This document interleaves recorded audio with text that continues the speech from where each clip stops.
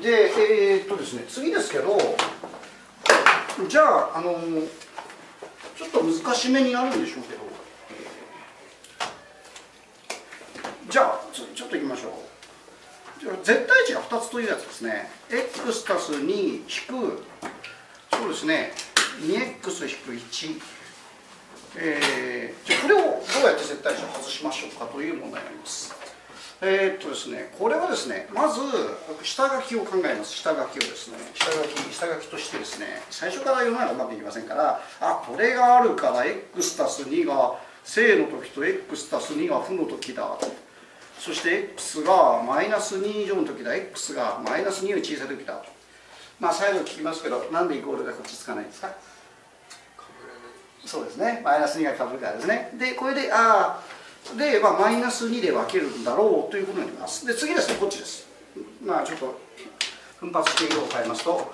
あでももう一個ここにあるよね。これって言ったらまたこれは 2x マイナス1が正の時と 2x マイナス1が負の時だ。あすなわち x が2分の1以上と x が2分の1より小さい時だ。ということは数直線返してあと2分の1よりも大きいと小さいに分けられるんですから4つに分けるのかなというふうになるんですが実は、えー、このこれがつながりまして数直線がつながっておりましてここは連結されます。連結されます。でですからどうなるかというとこの下書きをまあちょっと待ってここに書くと後々がちょっと問題が起きますのでこちらに書きますけど、えーということはこれ一応 x と書くんですね。これ x をあマイナス2でこう分けて2分の1で分けるから1番2番3番の3つに分かれるだろうというふうに考えるわけです。でこの下書きが一応役割終わりってことになります。で123に分かれて式を考えようということになりますがじゃあ1の時。すなわち x がマイナス2より小さい時。えー、じゃあで2あ、まあ、も気が早い人もいるんでやりましょう。2はマイナス2以上。2分の1を1ができくどいけどもう言わなくていいよね。イコールが合ってないのはね。大体以上の時僕つけます、はい、で3番、えー、これは2分の1にこっちイコールついてませんので以上の時としましょう。でこうするとマイナス2より小さいんでマイナス2より小さい数字をイメージしましょう。じゃあマイナス3ぐらいにしましょう。はいマイナス3を入れたらここは正ですか負ですか？X にマイナス3を入れたら正ですか負ですか？負だねだからここはマイナスをつける。次ですね。でこのマイナスは変えないでください。式ですから。式を変えなきゃいけませんからね。マイナスはそのままです。じゃあこれにマイナスを入れたら正ですか負ですか？負だね。だからまたマイナス 2x-1 とこういうふうにします。いいですね。で後々今度ちょっと開けときましょう。ああそれでこれ一応計算するとああこういう計算と間違えるんだよね。2x-x だから x ですね。マイナス2と、えー、マイナス1だからマイナス3とこうなります。いいですね。で次ですね。これです。じゃあこの中で一番計算楽そうなのは0ですね。0が楽そうに読めませんじゃあこの黄色い人聞いてみましょう。0を入れたらこれ正ですか？負ですか？だからそれそのままです。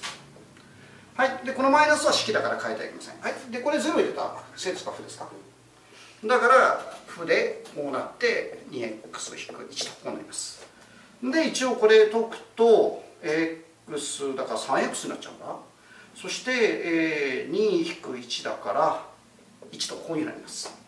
で3番です。3番は2分の1以上ですから、まあ、1でも入れてみましょう。じゃあその隣の人いきましょう。光線君ですね君はね。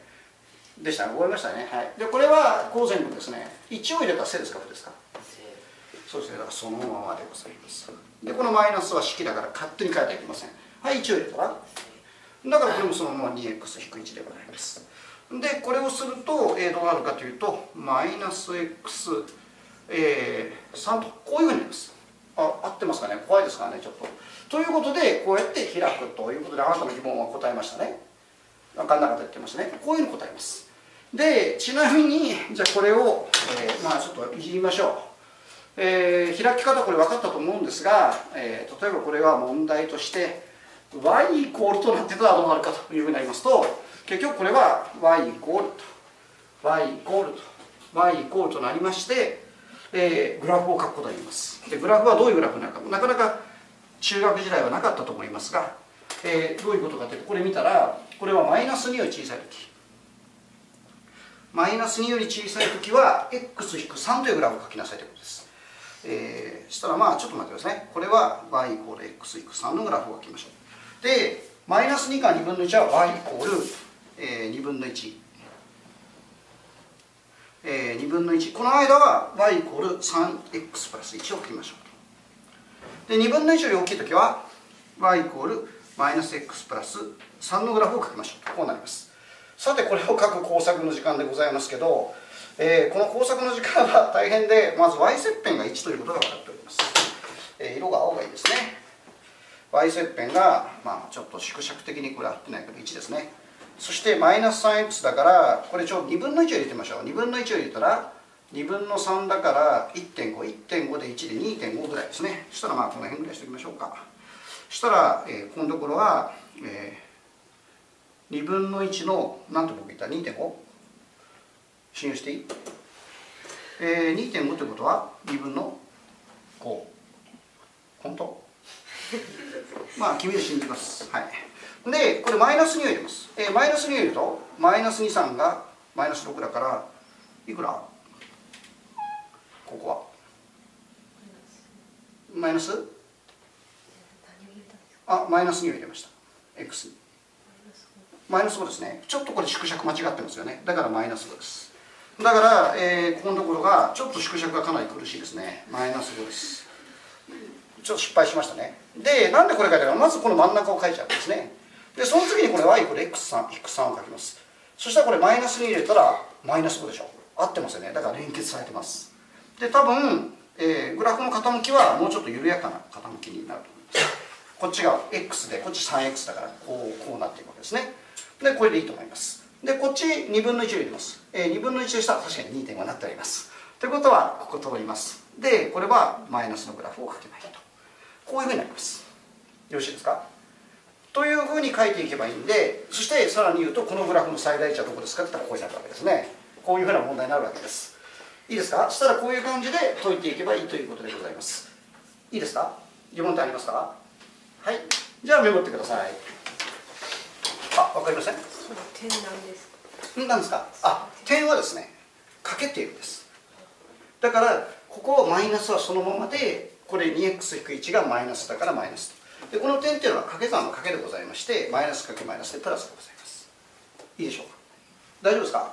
はいじゃあメモってください。で解けます。問題解いてください。はい。2のはい。マイナスプラス1になるのがよくわかりますねえっ、ー、とこれですかはい。えっ、ー、と x でここあすみません。この途中のように書けばいいだけのことですね。これは x プラス2でマイナスマイナスでプラス 2x-1 とでまあ x たす 2x3x でよろしいでしょうか。はい。他ありますか？大丈夫ですね。じゃあどうぞやってください。